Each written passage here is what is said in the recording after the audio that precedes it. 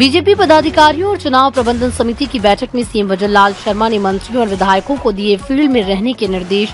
बैठक के बाद सीएम भजन लाल शर्मा ने कहा कि दो दिन बाद देश में होली मनाई जाएगी। वहीं चार जून को एक बार फिर देश में होली मनेगी।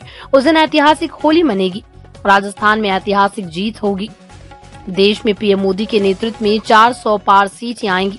तीसरी बार देश में बीजेपी की सरकार बनेगी। सीएम ने कहा कि सरकारी काम चलते रहेंगे। मंत्री अपने विधानसभा क्षेत्र के साथ साथ प्रभार वाले लोकसभा क्षेत्र में भी रहे। फ़ील्ड में ही फाइलें मंगवा लें, लेकिन चुनाव के काम में किसी तरह की लापरवाही नहीं होनी चाहिए। सीएम ने कहा कि मैं अभी तीन दिन लगातार लोकसभा कार्यकर्ताओं की बैठक लेकर आया हूँ। वहीं बैठक में प्रदेश चुनाव प्रभारी डॉक्टर विनय सहस्त्रबुद्धे ने कहा कि प्रदेश अध्यक्ष सीपी जोशी खुद चुनाव लड़ रहे हैं।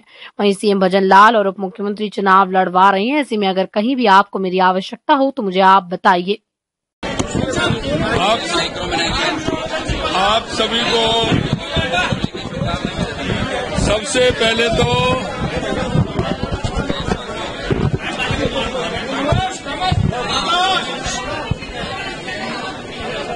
हमारा वो वो है ना, अनुशासन ठीक नहीं है। मानते ही नहीं आप सभी को होली की बहुत बहुत बहुत बहुत ढेर सारी शुभकामनाएँ। आप स्वस्थ रहें, मस्त रहें।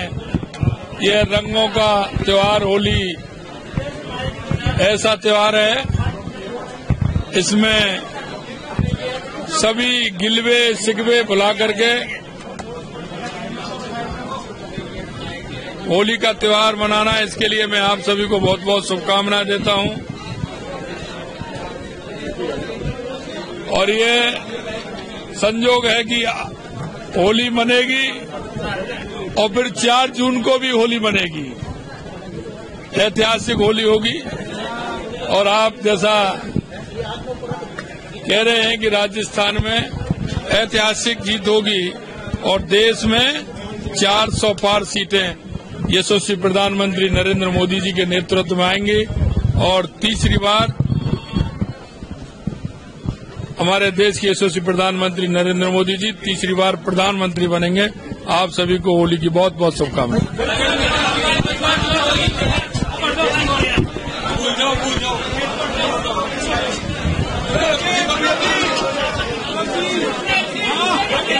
बस